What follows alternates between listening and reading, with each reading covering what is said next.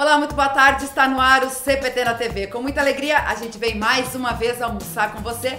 Afinal de contas, todo sábado, meio-dia e 30, nós temos um horário marcado aqui na Ubra TV com o melhor da programação da Rádio CPT, a rádio oficial da Igreja Evangélica Luterana do Brasil. Programação 24 horas por dia que você acompanha em radiocpt.com.br. Também assiste os nossos vídeos no facebook.com.br e também pelo YouTube, youtube.com.br. E a gente abre o cardápio de hoje com uma reflexão sobre oração. Afinal de contas, a gente tem o costume de orar mais pedindo do que agradecendo. E a psicóloga Daniela Von Millen traz uma mensagem inspiradora falando sobre gratidão. Confira aí.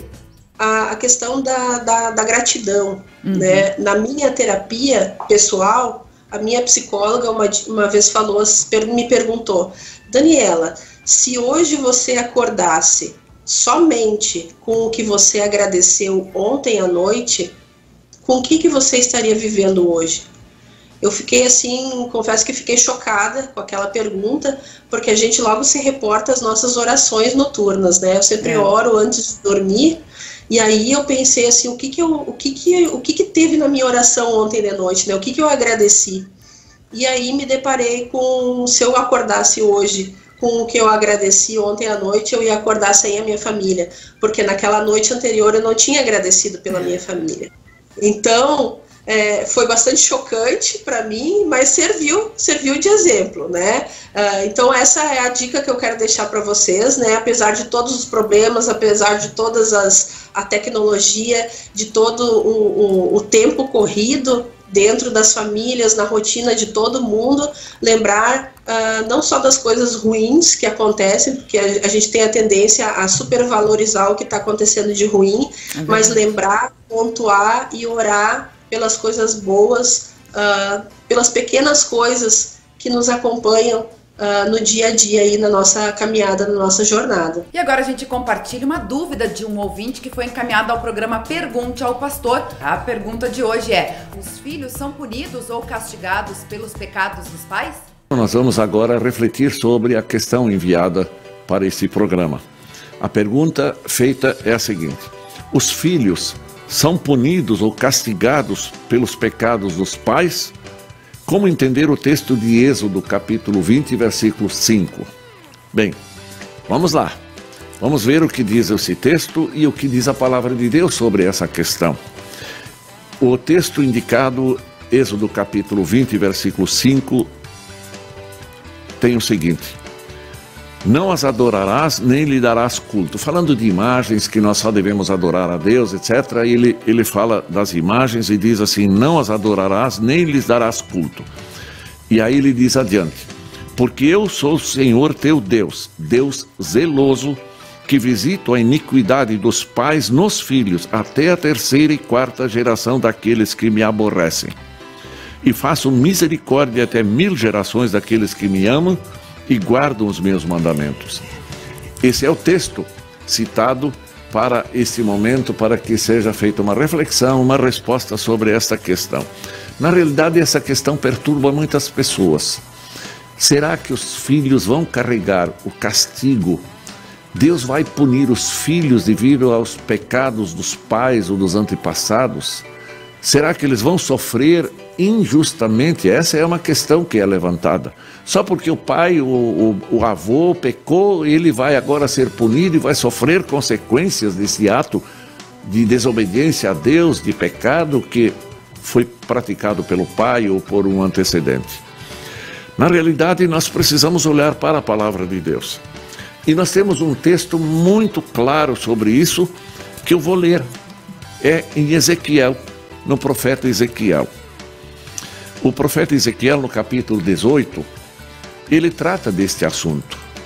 E ele diz assim no versículo 18: Quanto a seu pai, porque praticou extorsão, roubou os bens do próximo e fez o que não era bom no meio de seu povo, eis que ele morrerá por causa da sua iniquidade. Essa é a primeira questão que nós precisamos observar. A palavra de Deus é muito clara. O castigo cada um carrega de acordo com seus pecados. O pecado é pessoal e a punição é pessoal, como também a fé salvadora. A fé salvadora, ninguém vai na carona da fé do pai ou do avô. Cada um, para ser salvo, precisa crer em Jesus Cristo. É uma questão pessoal dele diante de Deus. Assim também diz aqui o pecado. Diz ele: o pai pecou, fez coisas que não convinha, ele agora vai morrer por causa da sua iniquidade. Ele vai sofrer as consequências. Ele vai ser punido. E ele continua, Ezequiel continua dizendo assim, versículo 19: Mas dizeis, por que não leva o filho a iniquidade do pai?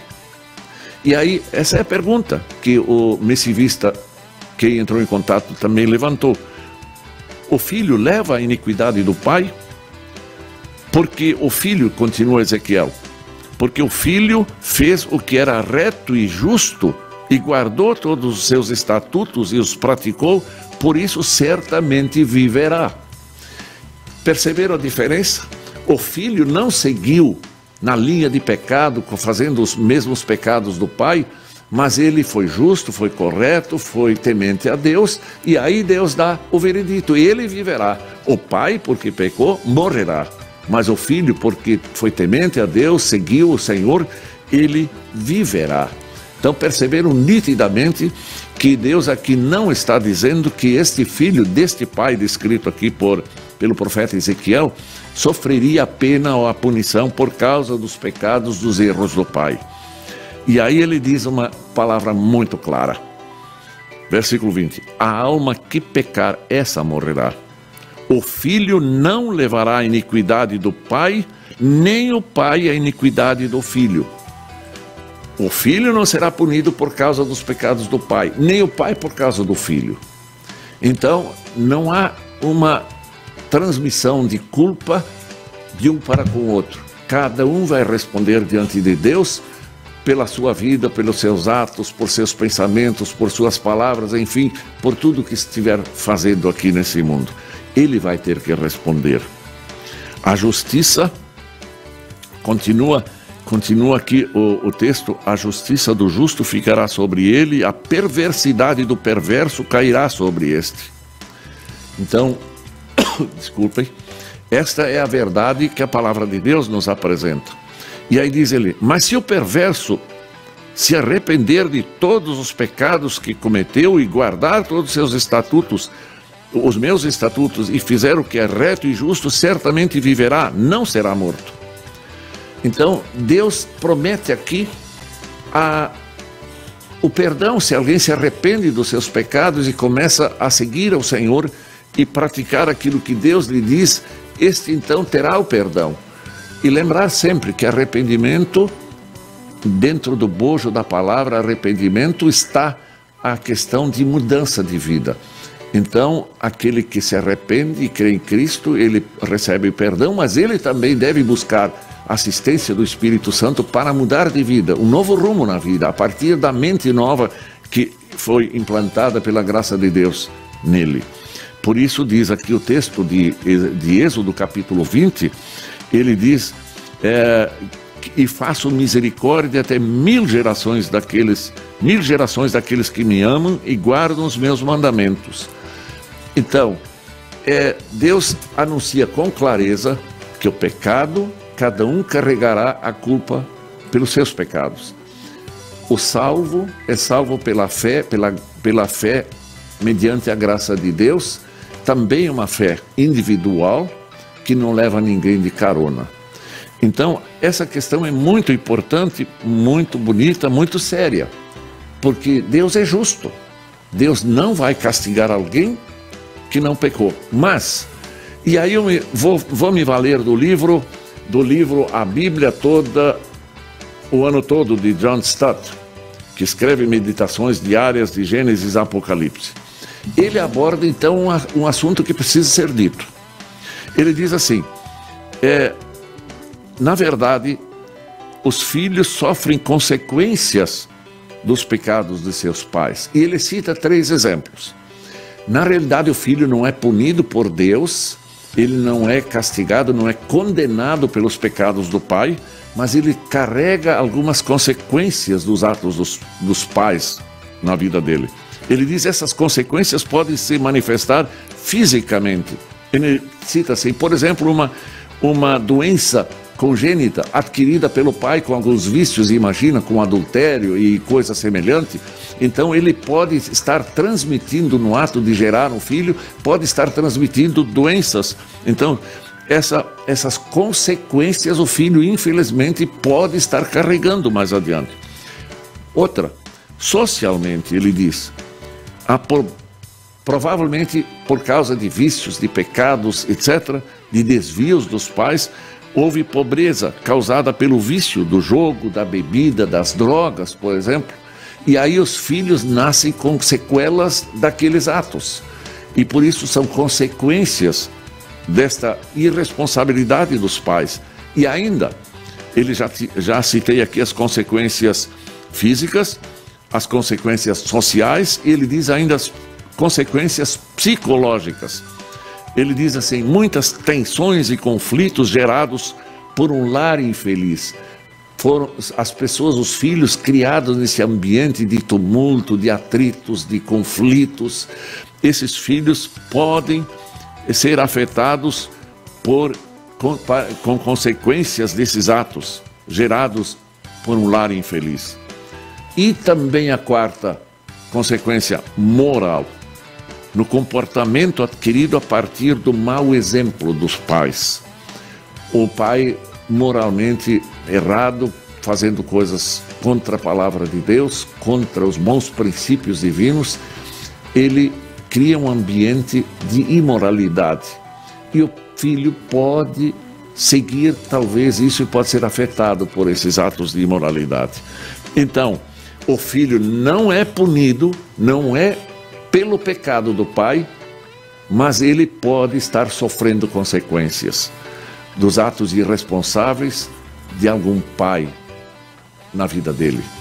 Daí a importância, queridos ouvintes, de nós pais, nós avós, vovôs, de prestarmos muita atenção à nossa vida.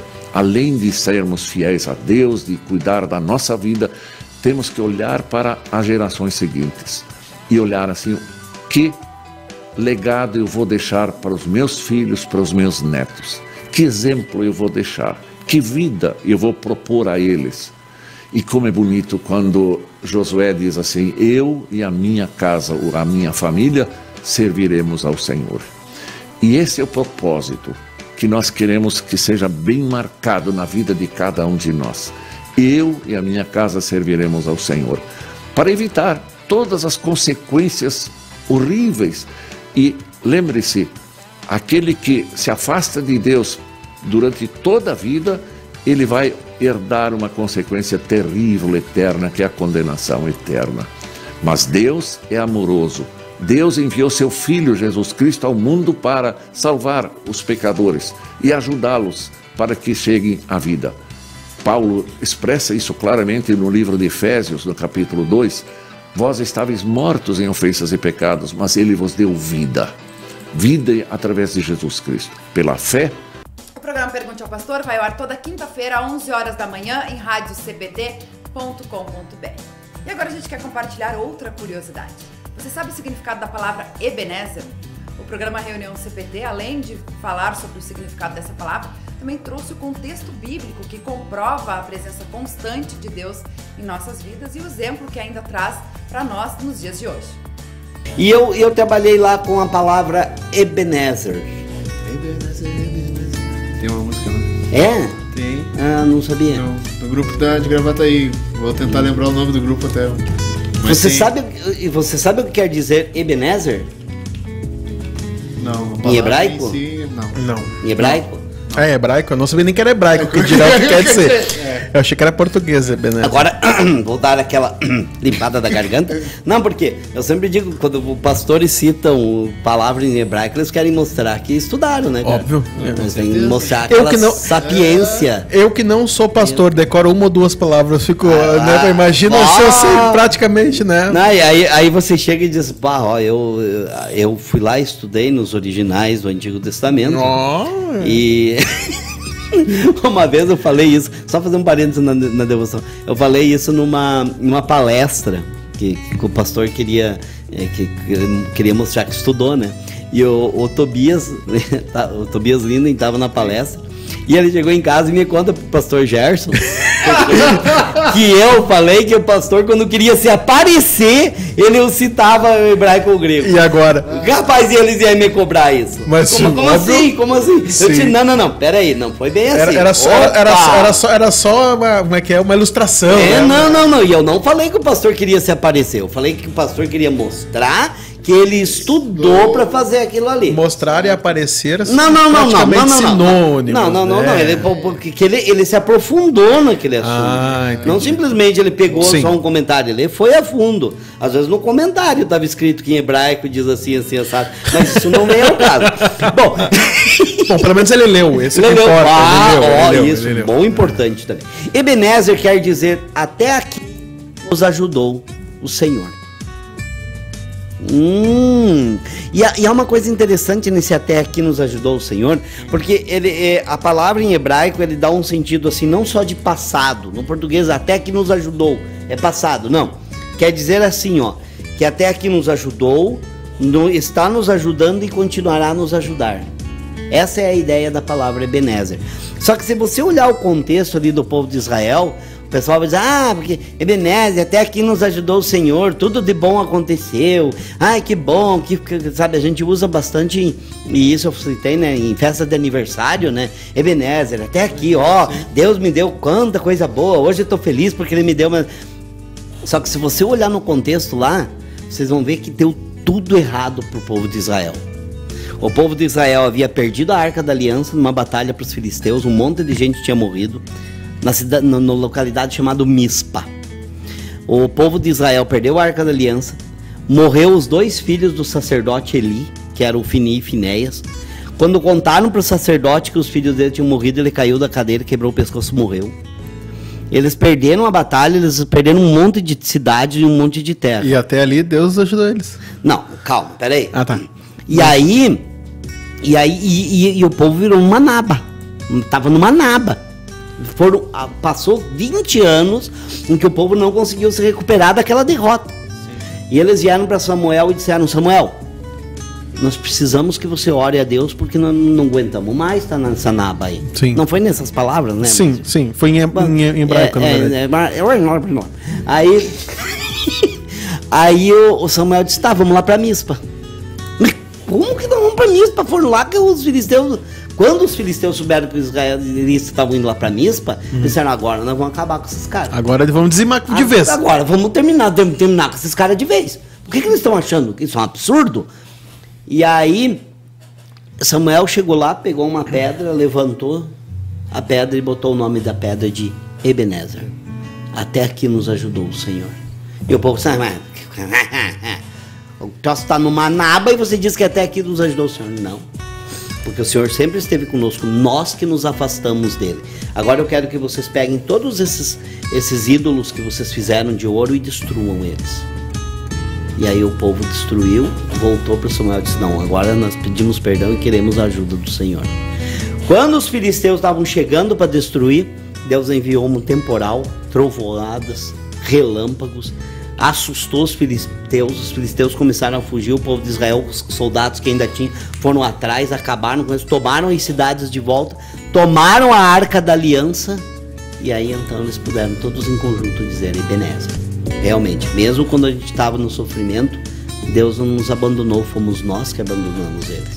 E agora nós estamos aqui de coração lavado, agradecendo a Deus, porque ele, na nossa dificuldade ele esteve conosco. E agora ele está ainda conosco e nos demonstrou isso através do seu grande amor. Isso é Ebenezer. Na TV chegou ao fim, mas não fique triste não. Você é convidado a acompanhar a nossa programação 24 horas por dia em radiocpt.com.br. Assista também os nossos vídeos no facebook.com.br e no YouTube, youtube.com.br Desejo a todos um abençoado final de semana e espero vocês aqui no próximo sábado, meio-dia e 30, na Ubra TV. Tchau, tchau!